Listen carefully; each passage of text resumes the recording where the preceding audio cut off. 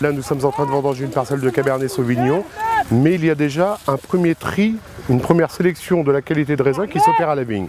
Donc, comme vous pouvez voir ici, ce qu'on appelle les grappillons, les grappes de seconde génération ne sont pas récoltées, et l'ensemble des grappes qui ne sont pas en bon état non plus ne sont pas récoltées. Donc, uniquement les meilleures grappes. Le raisin est un fruit. Donc, pour déterminer la maturité d'un fruit, la première chose, c'est de le déguster.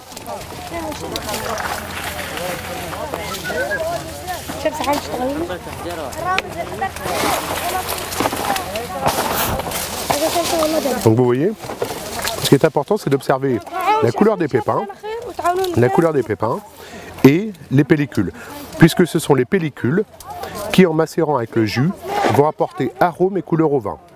Les pépins ici, donc prennent une, une, teinte marron, ce qui signifie que les pépins sont lignifiés, que la lignification des pépins correspond à la maturité physiologique de ces pépins, justement, pour pouvoir ensuite germer. Donc le fruit est mûr. Le paramètre goût est le premier paramètre de prise de décision, qui est ensuite confirmé par une petite analyse qui concerne l'acidité, le sucre et le pH. Ce que nous cherchons plus particulièrement avec nos vignes, c'est justement d'avoir des vins qui reflètent l'expression de ce terroir. C'est-à-dire que nous, les hommes, nous devons toujours faire en sorte de minimiser notre apport personnel pour justement laisser ce terroir s'exprimer.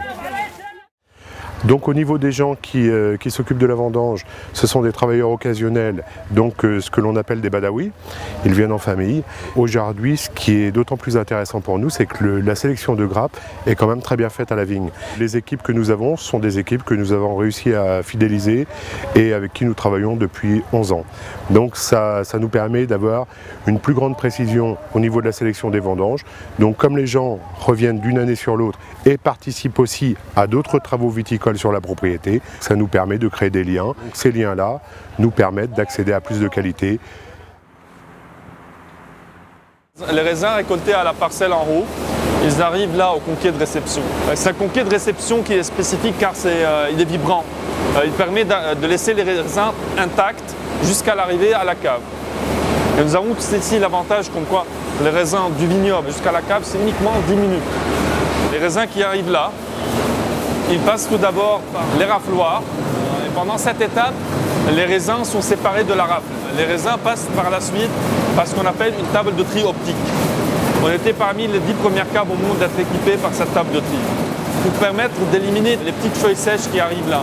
Si on regarde par exemple, euh, il y a certaines feuilles sèches ou euh, certains bouts de rafle qui arrivent là euh, sur la table vibrante. Ils passent par la table de tri optique on pourra bien voir en fait que tous ces bouts de rafle sont directement éliminés. Les raisins qui arrivent là, ils sont légèrement foulés, ce qu'on appelle le fouloir. Chaque micro-parcelle, micro-terroir qu'on a, on essaie de l'unifier ensemble dans des cuves séparées à la cave. Les raisins arrivent par là. Il y a du jus, il y a les pellicules, les pépins, tout ça dans la même cuve. Quand on va terminer la fermentation, cette cuve qu'on vient de remplir, on va faire ce qu'on appelle les remontages. C'est prendre le jus par cette vanne-là, le faire redescendre dans un bac, et après reprendre le jus et le refaire passer le haut du chapeau pour essayer d'extraire le meilleur en fait des pellicules et des pépins qui sont à l'intérieur de, de, la cuve. Euh, et ce qu'on fait au quotidien, on déguste les vins pour savoir est-ce qu'on cherche à extraire plus ou à extraire moins? Note ton verre.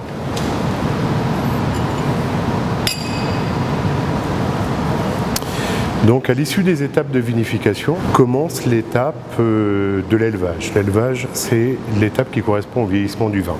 Donc au niveau de Château Queffrayen, nous choisissons d'élever euh, nos vins en barrique, en barrique de chêne français. Tous les process euh, d'échange entre le bois et le vin se réalisent dans cette ambiance. Il faut savoir que le bois, au niveau d'un vin, doit être un sublimateur, un sublimateur de la qualité intrinsèque du vin. 95% de la qualité d'un vin se fait à la vigne. En cave, il n'y a pas de magicien.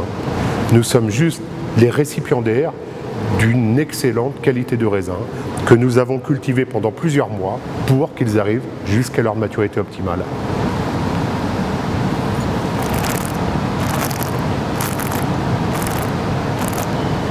Ce que l'on cherche absolument, c'est respecter le fruit, respecter les équilibres.